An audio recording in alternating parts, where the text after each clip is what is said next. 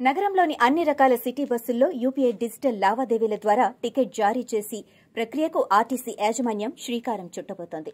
దీనివల్ల ప్రయాణికులతో పాటు ఆర్టీసీ కండక్టర్లకు కూడా ఎంతో సౌకర్యవంతంగా ఉంటుందని పైగా సిటీ బస్సుల్లో చిల్లర సమస్య తగ్గుతుందని భావిస్తున్నారు. ఈ మేరకు నగరంలో దాదాపు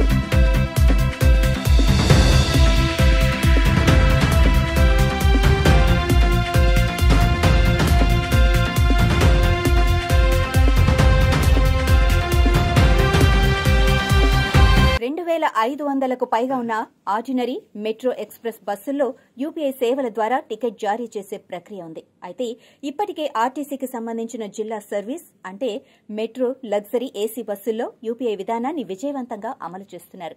అలాగే నగరంలోని ఎయిర్పోర్టుకు తిరిగే ఏసీ బస్సుల్లోనూ క్యూఆర్ కోడ్ ద్వారా టికెట్ జారీ చేస్తున్నారు.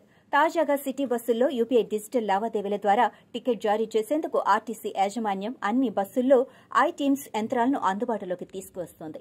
ఇప్పటికే ఐటీమ్స్ యంత్రాలను పంపిణీ చేసే సంస్థలతో ఒప్పందాలు కూడా కుదుర్చుకున్నట్లు ఆర్టీసీ గ్రేటర్ జోన్ అధికారులు తెలిపారు.